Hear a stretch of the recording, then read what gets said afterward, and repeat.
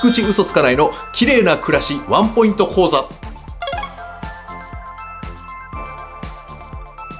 いあのキッチン周りの片付けというかね、まあ、収納なんですけどもあの割と収納ってまあいろんなものがあるとしまいづらくなったりうちそんなスペースないよって方多いと思うんでうちもそんなに多い方じゃないと思うんですよね。なので使ってるのがもう見てわかる通り壁なんですよね。はいこれこういうまあこれ油とかだったりまあねコーヒー飲む方コーヒーだったりまあ砂糖、えー、塩片栗粉的なものまあこれ僕料理全然やんないんであれ奥様に任せたりしてるんですけどこうよく使うものとかをこういうとこに置いてる方多いと思うんですよ。こういうとこに置いとくともう信じられないぐらい油地獄になります。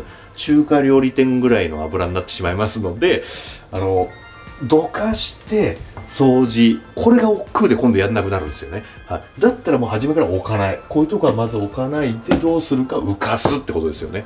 マグネットなんですよね。まあうちはたまたまあのここ、まあ、キッチン周り多いと思うんですけどマグネットをつけて、えー、何でも置けます。以上の壁がキッチン周りって割とありますんで自分のお家も調べていただければくっつけるだけで油も飛ばない。まあもちろんね大きく掃除するときは簡単に外して掃除もできますので、はい。でここなんですよね。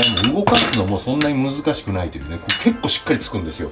はい、今見て分かる通りね、すごくしっかりつくので、これぐらいの重さのものでも大丈夫です。はい。で、こういうものね、こういうものって、こう、引き出しの中とかしまっとくと、ガシャガシャなって取りづらいと思うんですよ。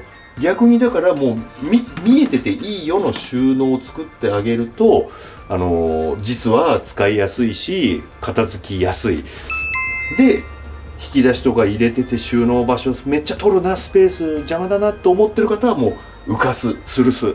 はいこれ間違いないですね。はいなので我が我が家はこういった形にしてまあちなみにキッチンペーパーなんかもねこう下にこう置いてる人いると思うんですけどもあれもやっぱり汚れの原因になりますんでこれ浮かしておいてます。はい。石鹸、えー、洗剤類も浮かしてます。はい。で、スポンジ類も下にはつけずに浮かしてます。ブラシもそうです。こういった長いものも浮かしてます。えー、ついでにワイングラスも浮かしてます。お酒一切飲みません。はい。というね、えー、マグネットだったり吸盤だったりで便利なものいっぱい出てますので下になるべく置かないということが汚れないし収納も綺麗に見せられるというコツでございます。浮かしてみてください。他の動画もよかったら見てください。